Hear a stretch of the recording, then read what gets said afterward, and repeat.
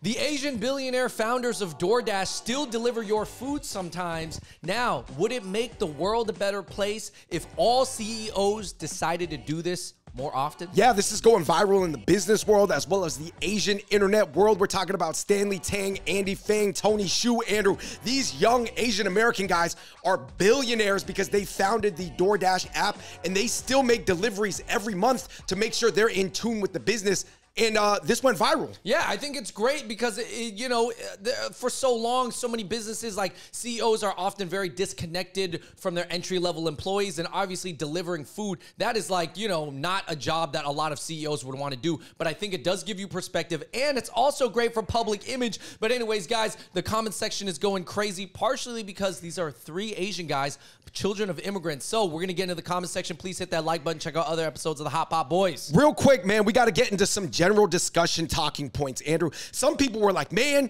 these Asian young CEOs, they got the right idea. They should do this. In fact, every company in America should do this, and even the politicians.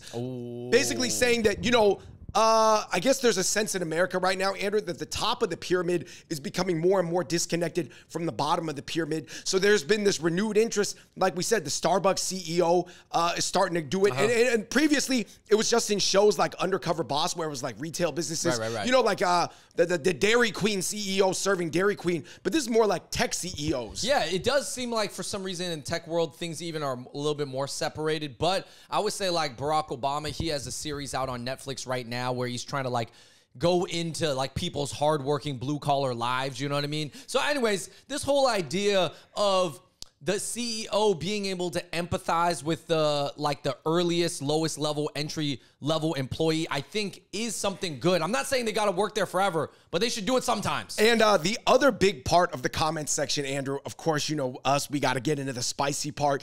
Is uh, people are looking at Fang, Tang, and Xu like I don't really know if these are the new faces of uh, the American business elite. I don't know if I like what I'm seeing. Right, right, because they are of all Chinese descent, right?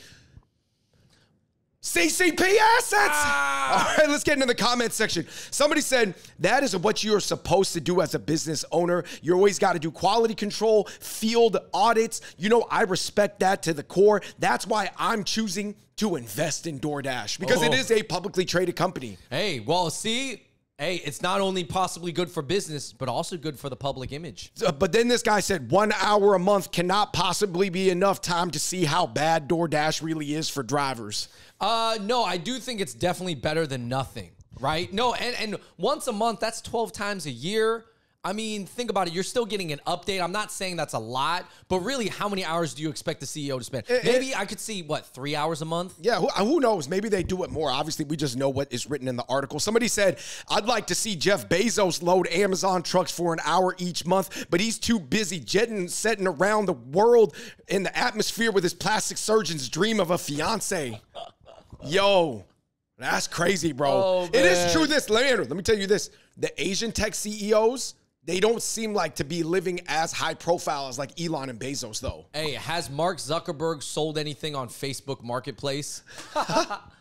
Somebody said, uh, you know, some of the employees at DoorDash, Andrew, because they require everybody to do a certain amount per year, were complaining that this is not what they signed up for. Some of the guys who code, you know, the code for 300, 400, 500K a year, they didn't want to do it. Yeah, I mean, I think if they could make the argument it's like some type of security concern where they have to put their face out there and then they're going door to door. But other than that, I totally understand why a company would want all levels of employees to experience that at least a few times. Right even people who never thought they would be the doing business. that. Because it's very easy, David. Like you said, like to walk into a Taco Bell, everybody's walked into a Taco Bell and ordered, so you understand that experience, but you don't know what it's like to be the the cook Right. You know the person behind. And let's counter? be honest, Andrew. Sometimes the C-suite level of a place like Taco Bell, it's not necessarily like my kids are eating Taco Bell every day. That's a good point. That's yeah. just where I'm a board member. Exactly. Somebody said, "Man, these guys need to do DoorDash at least four, at least four or five times a day to understand the kinks of it, and then they would realize how terrible the whole system is." um, what do you think, Andrew? People doing DoorDash, and, and I could pull up a hundred comments complaining about DoorDash saying, "Yeah, I don't want to get any two dollar and twenty five cent orders with no tip. What the f? F DoorDash, but I'm still doing it every day. But I hate Tony Xu, especially Tony Xu. Apparently, there was a whole like." Drivers versus Tony Xu, which is one of the CEOs of uh, DoorDash, like uh movement on the internet. Well, I, I guess the truth is in the comments down below, anybody who uses DoorDash, the actual app, let us know if you think it works better than the other apps, like than Uber Eats or anything like that. Like I don't know. Yeah. I mean, you let me know of what your thoughts. So that that means that this thing is working, this tactic is working, or maybe it's not. But how much personal responsibility do these uh, independent contractors have for just understanding that they're choosing to be a delivery person? yeah. though? I mean, to be I- I'm honest, it- 50 no, 50. it's not. You know, it's not the most desired job, but sometimes you got to do it if you have some free time, right? Somebody said, uh, man, there's just too many fees, not making it useful for the customer. The restaurants are mad because they're getting a cut uh, taken out of it, and the delivery drivers are unpaid. This whole system is ruining everything. Plus, I don't trust the Chinese. Oh, you know what they should also do, David? They should open up a restaurant. DoorDash needs to open up their own restaurant and then have that restaurant on DoorDash. So I'm saying they know what it's like to be the restaurant side. Oh, what would they serve? Right? Well, I- well, I- Andrew, based off the ownership of DoorDash or the founding group, it'd have to be Chinese. Yeah, food. why don't they just start a Chinese restaurant and then they try to make it a business, but then they have DoorDash and then they'll see like how much DoorDash the the cut like how much they take from each order and things like that. Uh, Andrew, and plus FTX just shut down as an exchange. Fang Tang Xu, they could call their DoorDash restaurant FTX now because the name's available. Somebody said Fang Tang and Xu, so great to hear an American success story. I roll. Um, Chinese CEOs have a habit of disappearing when the ish hits the fan. I would not be surprised if Tony Xu disappears soon. Somebody said these guys are Chinese American citizens, guys. Come on, they are successful because they work harder than the whites. And someone said, yeah, these guys are working harder than the whites. All the whites nowadays are strung out on fentanyl and meth, blaming everything else, everyone else on their ill-gotten place in this world because they're losing their stolen spot that they had at the top. Oh man. Yeah, and I'm telling you, these comment uh, sections. You know, you can't even have one single article without it getting political, huh? Somebody said, "Come on, everybody knows that these rich Chinese had their CCP families finance their startup. I don't really count this." And then somebody said, "I'm, I'm convinced that DoorDash is run by the Chinese military or U.S. government." Classic. Yo, that's Classic. crazy that he said Chinese military or U.S. government. Like, what a what two choices that DoorDash must be run by? Wait, wouldn't those be two opposing sides? yeah, but a conspiracy both ways So though. he's just saying, I don't know who runs it, whether it's the Chinese or the Americans, but it's ran by some type of larger conglomerate. I think in DoorDash's case, it's more likely the US government than the Chinese military for sure. Ooh, so they knew that getting the ABCs that are second gen would cover it up because no one would ever believe that second gen ABCs would be affiliated with the CIA. Guys, I'll See, tell it's you- very meta. It's, there's a layer on a layer on a layer. I can tell you this 100% that the Fung Bros channel, Hot Pot Boys, we are not sponsored or getting any funding from any government. That's funny, man. Some of the comments you get.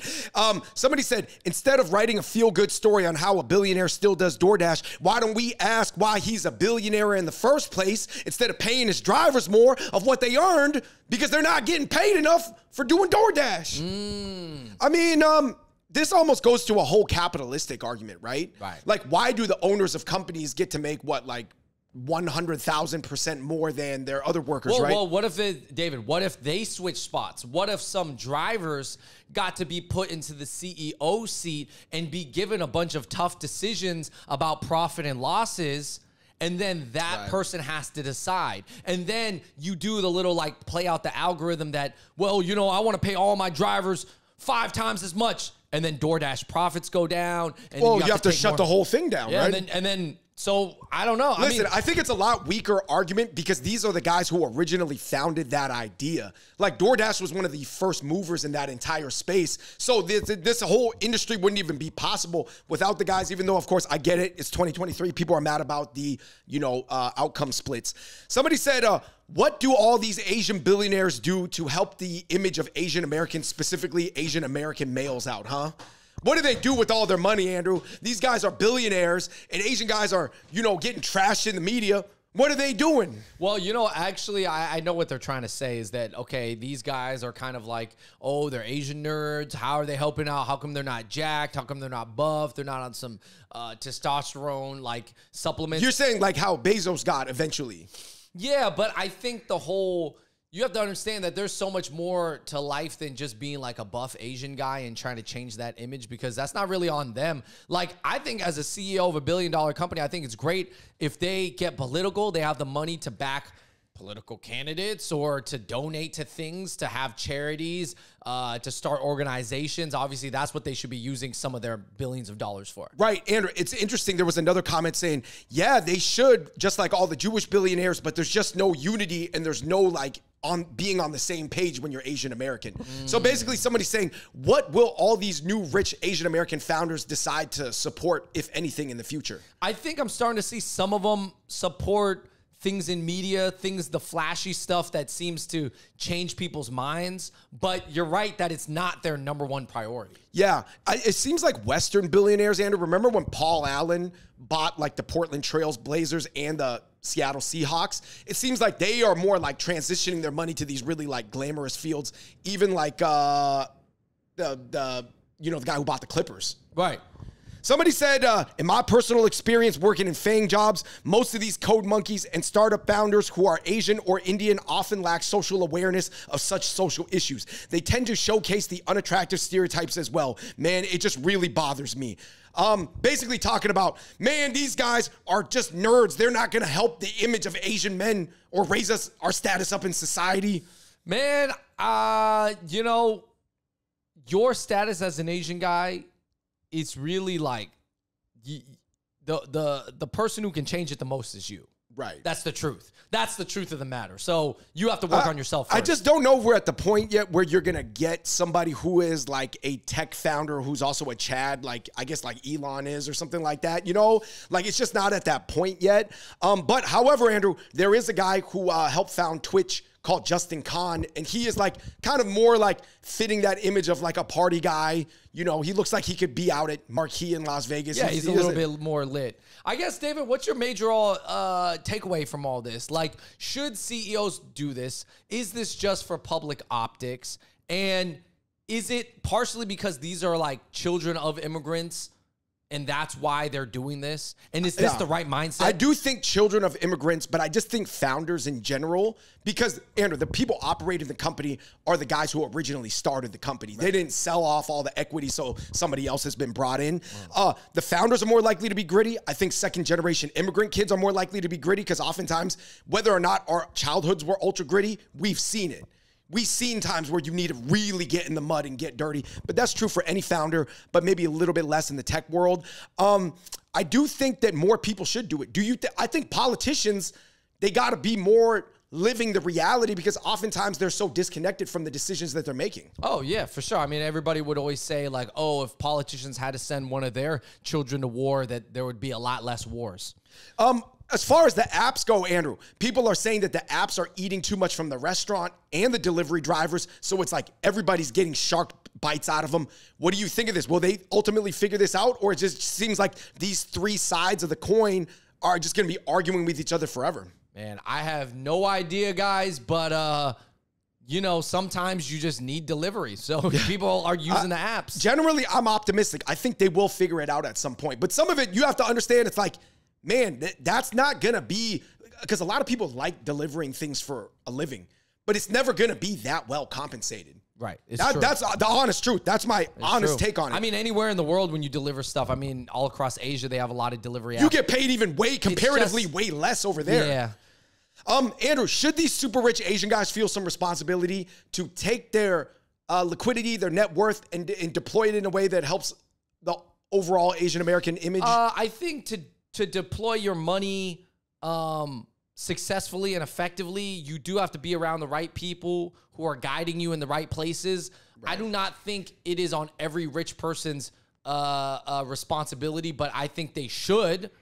They should feel a little bit. I mean, it'd be cool if they did, but ultimately, no, I don't think it is. yeah. Anyway, guys, let us know what you think in the comments section below. Uh, shout out to the guys who started DoorDash. And until next time, we're the Hot Pot Boys. We out. Peace.